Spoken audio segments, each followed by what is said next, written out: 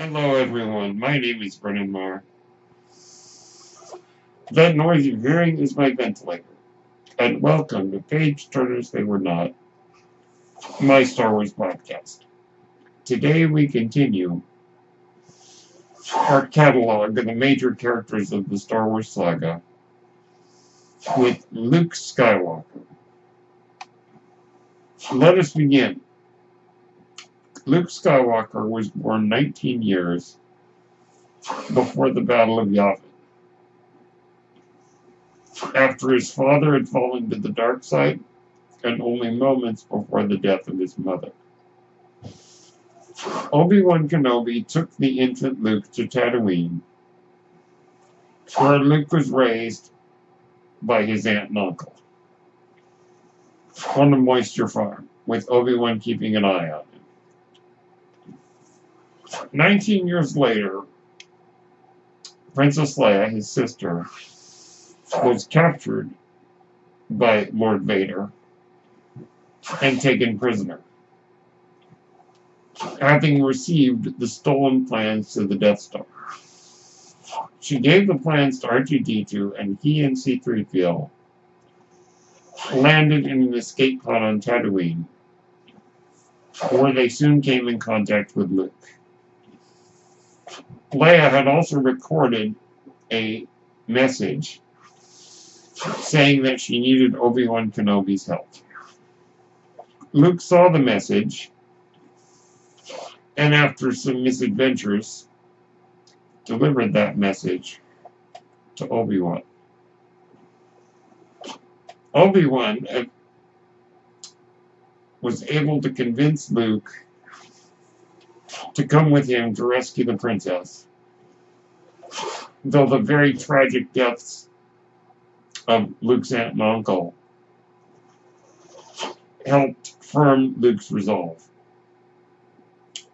Luke had rejected Obi-Wan's call and wanted to stay behind. But the unfortunate thing that happened to his aunt and uncle convinced him that he needed to learn the ways of the Force. Luke grew up dreaming of adventure, watching as his friends started leaving Tatooine, and he felt very stuck, very much like the characters, some of the characters in American Graffiti, feeling stuck,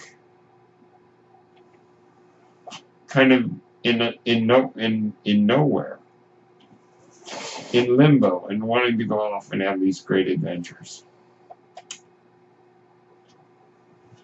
Luke is kind of the epitome of growing up. It's a story about growing up and facing responsibility. Luke learned to face that responsibility. Now, Luke accompanies Obi-Wan to Mos Eisley where they charter a ship from Han Solo.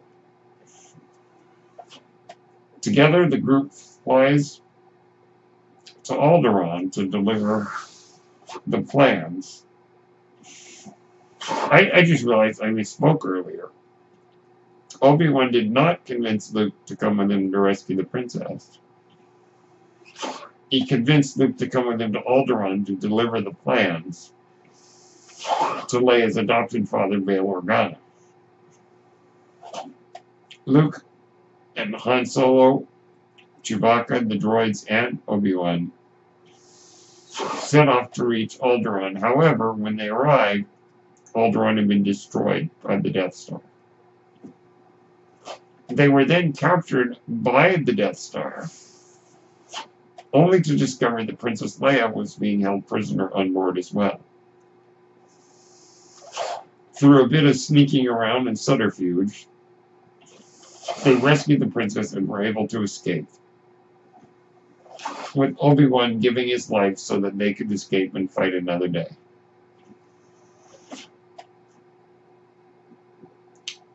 They delivered the plans. The rebels were able to determine a weakness thanks to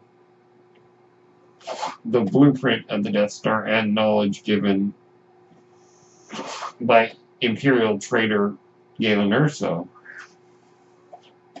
were able to destroy the Death Star with Luke delivering the killing blow, thus bringing a new hope to the galaxy. Three years later, Luke is helped, helped a group of rebels establish a new rebel base on the ice planet Hoth. While there, Luke is mauled by a Wampa, but recovers and participates in the Battle of Hoth after the Empire learns the location of the rebel base. Unfortunately, the rebels lose the Battle of Hoth, which was a losing battle anyway. Their only job was to protect or to prevent the Empire from stopping the rebel transports. So they, they knew they were going to lose, but they fought anyway, and participated in the battle. And was actually able to destroy, help destroy a uh. Luke escaped with the rest of the rebels, but the ghost of Obi-Wan had told Luke to seek out Yoda. Luke departs from Dagobah, a swampy planet, where he tries to land, but basically crash lands in a swamp. Perhaps, perhaps guided there by a certain individual. Hmm, speculation time. Luke, of course, sets up camp and meets Yoda. At first, he doesn't know that this is a wise Jedi Master, and thinks he's a strange little frog bat pest. Only to discover that it is indeed Yoda, and Yoda is a bit frustrated. Without Luke is still rather impatient and rather whiny.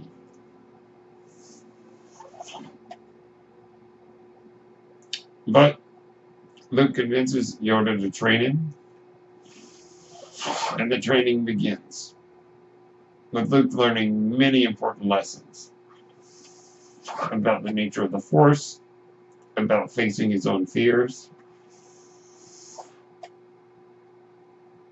about dealing with anger and impulsiveness, and also learning that you have to have faith in the Force in order for it to work. Luke learns all these things. Some, some lessons he does learn, and others he uh, has much to learn still. But he senses through the Force that his friends are in trouble in Cloud City. Darth Vader, of course, using this to lure Luke into his trap. Despite the warnings of Obi-Wan Obi-Wan's ghost, I should say, and Yoda. Luke heads off to save his friends. Rather impulsively. He gets there. He falls into Vader's trap, but is able to escape Vader's clutches. But during a fierce lightsaber duel, loses a hand in the process.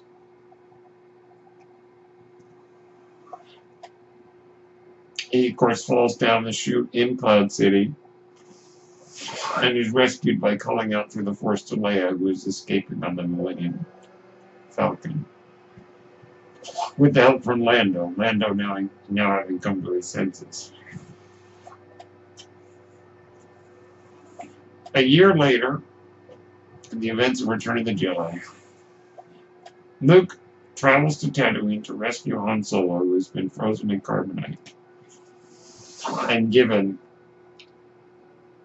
as a prize, are basically given to Jabba the Hutt by Boba Fett, who answered the bounty on Han's head.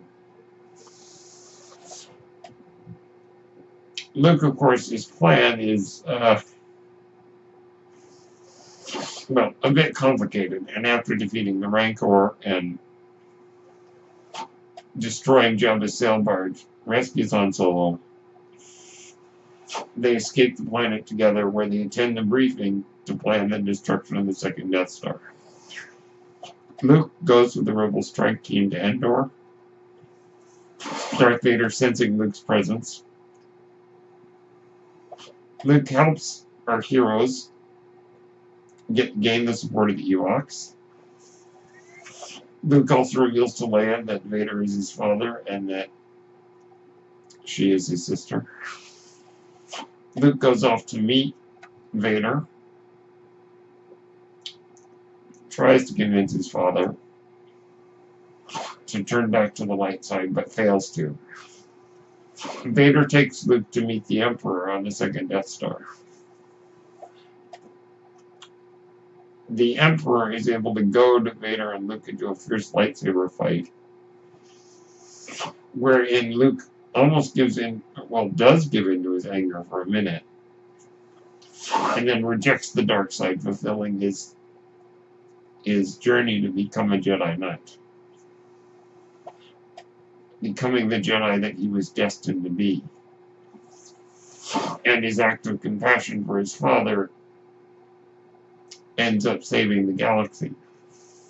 As Vader rejects his dark side and becomes Anakin Skywalker again, defeats the Emperor, fulfills the prophecy, and reconciles with his son before his death. Luke escapes the Death Star with the armor of Vader in tow, as the Death Star is destroyed by the rebels. Luke burns his father's armor on a funeral pyre, a fitting end to the chosen one of Jedi legend and Luke celebrates the victory with the other rebels. Thirty years later, Luke has gone missing. We learn that after his nephew fell to the dark side and became Kylo Ren, Luke blamed himself and went into exile.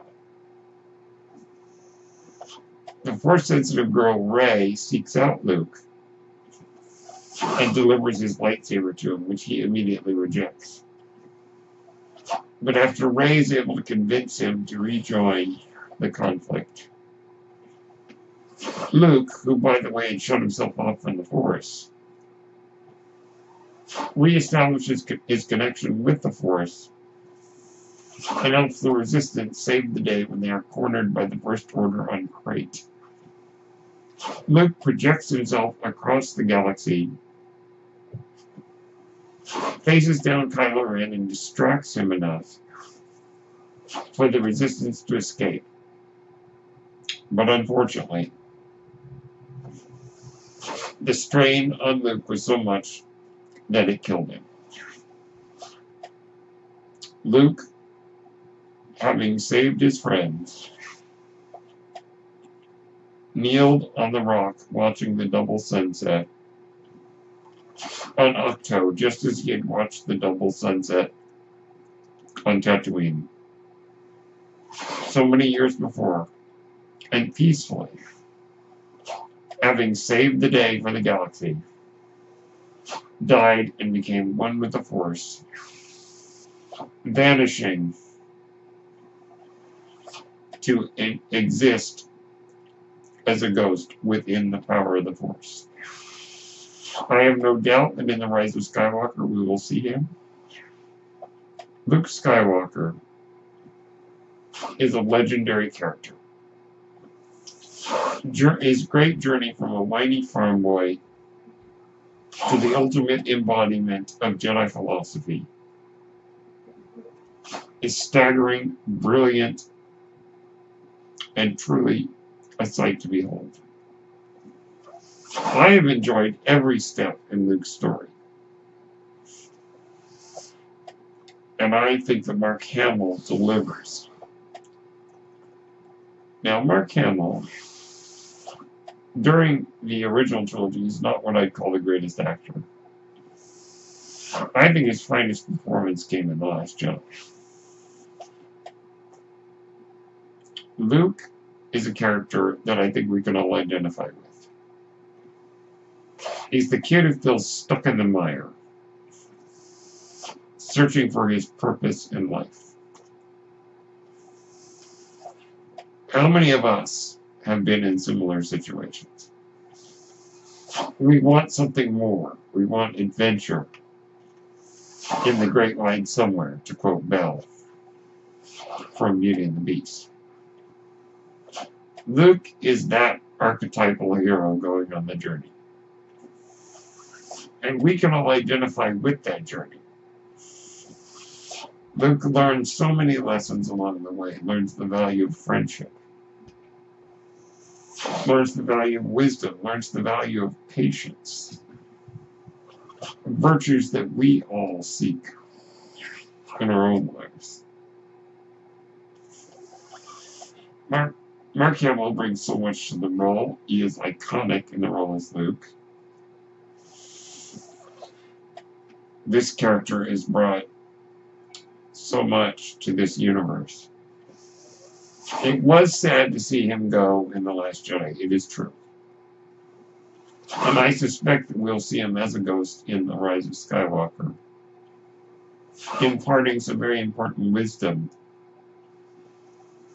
to Rey, and maybe he'll do even more than that. We've seen what Force Ghosts can do. With Yoda lighting the Jedi tree on fire on Ahch-To. So who knows? Luke may do more than just impart wisdom. Perhaps will be involved in an even greater way. So Luke Skywalker, Jedi Knight, is one of the great characters of Star Wars and truly deserves the mantle of legend that we have given to it. My name is Brennan Marr. That noise you hear is my ventilator. And thank you for tuning in to Page Turners They Were Not, my Star Wars podcast. May the Force be with you.